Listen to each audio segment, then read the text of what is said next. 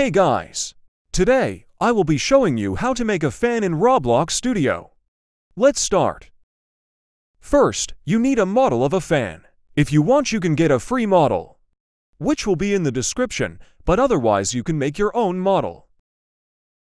Once you got a model, you need three things. For the first, you need to have a fan stem as the base of your fan, and second, this is compulsory you have to name the top part of your fan the fan head.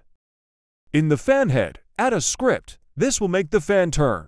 If you don't know how to add a script, right-click the fan head and click Insert Object, and then click Script.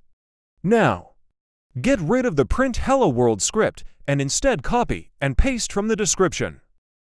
Now you see the line that says local speed? That's the speed you want the fan to go. And on the second last line, there's a wait script.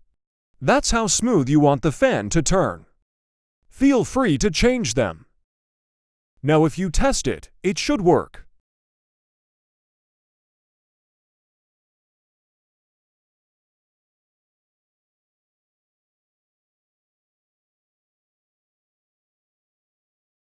Sorry for the lag.